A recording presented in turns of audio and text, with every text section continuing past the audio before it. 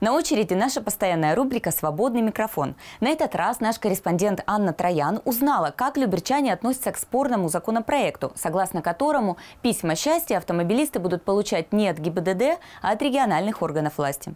Превышение скорости, выезд на выделенную полосу, проезд на красный свет.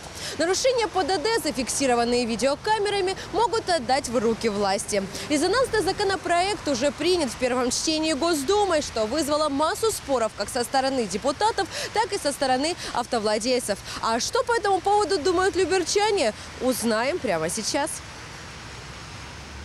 Я вообще первый раз слышу, по мне так письма счастья, если это с камер, да, какие-то прилетают, то практически всегда попадание, ну, как бы в точку. Иногда бывает, что там какая-нибудь тень на полосу, ну, то есть сейчас, в принципе, все нормально, я не знаю, как бы, что изменится. Я думаю, то, что письма счастья добавится еще больше. Мне кажется, почему-то, ну, так. Что ГИБДД, что власть, даже если власть залезет, мне кажется, просто больше начнут денег ну, снимать с народу. Может быть, э, уже, ну, контроль там будет лучше за всякими теми же нарушениями там.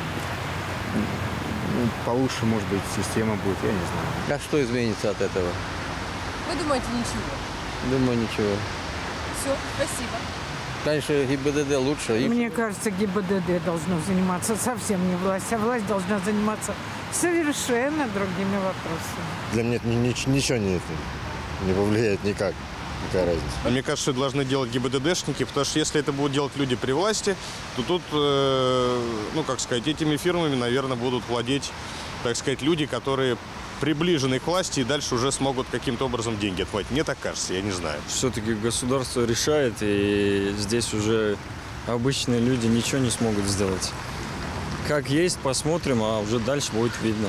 По сути, законопроект обоснован, ведь все затраты по установке камер видеофиксации лежат на муниципалитетах, а штрафы за нарушение ПДД и так идут в казну региональных дорожных фондов. Однако люберчане не согласны с нововведениями и считают, что письмами счастья должны заниматься госавтоинспекторы.